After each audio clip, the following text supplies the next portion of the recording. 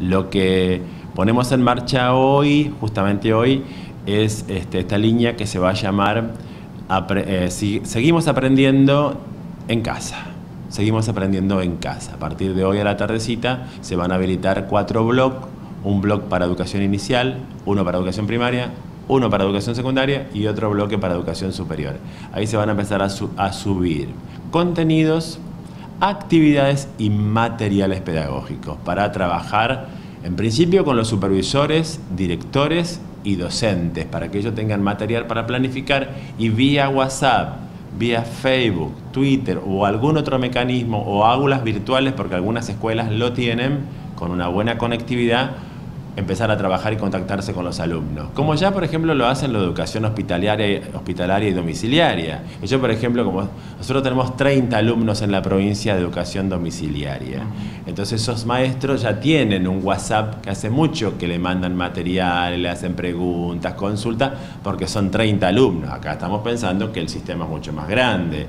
Es, esa modalidad trabaja con esos alumnos. Acá 30 eh, alumnos pueden ser dos aulas o un aula y medio. Si pensás en lo, que el servicio provincial tiene 4.000 unidades educativas, pensando en todos los niveles y modalidades del sistema.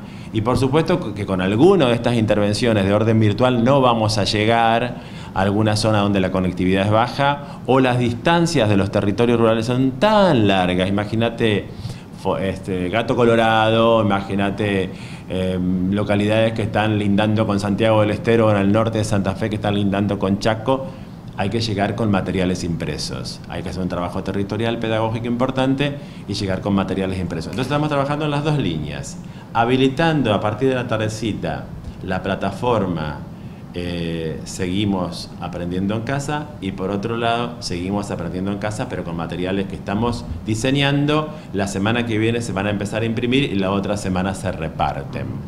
En principio para los primeros 14 días y después vemos cómo se sigue. Si es más tiempo, tiene que volver a su planificación habitual, eh, con los lineamientos de la caja curricular que tiene, no va a estar en el aula habitual de la escuela y entonces eh, el resorte tecnológico de comunicación y de información lo coloca en otro lugar. Eso es interesante también, es muy interesante, es una oportunidad, es un desafío que tiene la provincia de Santa Fe, que tiene el sistema educativo provincial para trabajar en lo que uno llama educación virtual o digital lamentablemente lo tenemos que hacer en el marco de esta emergencia, no por una decisión de política educativa del vamos, pero bueno, a veces situaciones como esta habilitan cosas nuevas también.